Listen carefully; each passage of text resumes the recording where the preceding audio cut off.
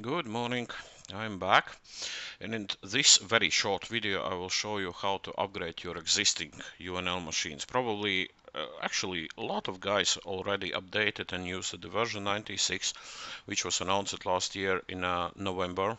Now so long time some long time is gone and the new new UNL is out now and I'm happy to say that but we have to update your existing UNL machines because you did many labs inside yeah it's uh, just to keep updated and I will show you how.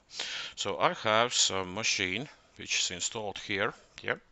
So for better as I as, as always as, as I was saying always just use maybe some CRT or PuTTY to connect your machine. So I'm going to SSH2 and my IP address is 172.25 which is my home homeland and 1 and 55 okay? The username is root and I'm going to connect yes and the password is UNL right save. Okay good I'm in. So and let's start the upgrade process now. So I'm going again. Two commands. Apt my dash uh, get update. Okay. Let's do. Before you do this be sure that you can ping some something named some 3ws google.com yeah so before you start this upgrade upgrade be sure that you can do this I'm usually forgetting because my DNS are everything is fine and everything is set up good. Yeah, but sometimes I've, I, I saw such problems that seems to be it working. And in internet you can ping triple, uh, so you can ping uh, four eights or ping whatever internet IP address, but you cannot ping the name, and that's a problem with DNS. And then that's why the the problem starts with with uh, updates. Yeah, it's just be sure that you can ping it some some Google.com for example. So the first bug is uh, first first step is done, and let me show me previous, which I should show before uh, it will be ping. Uh, triple W's uh, Google Google.com. Yeah, it's uh, oh four W's. Nice the new system. okay, good. Yeah, uh, and after this, if you verify it, yeah, you you're starting the apt-get update. Yeah, it's it's going on, and it's, it's everything is nice. So that steps. Um, good. The first first step is done, and the second we are going to get the newest version. apt minus get install UNetLab. Okay, and I'm saying enter, and it's starting to update. It's saying, yeah, do you want to continue? Yes, I'd love to. So I'm going to pause.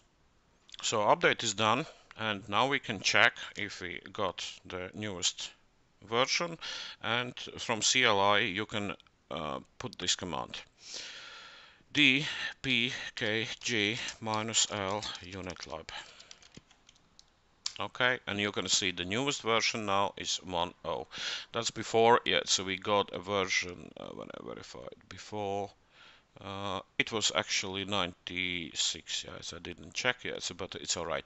So the newest version is set up yeah it's an if you will go again yeah it's uh, to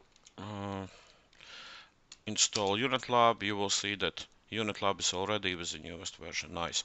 Now we have to check it how it looks on the screen.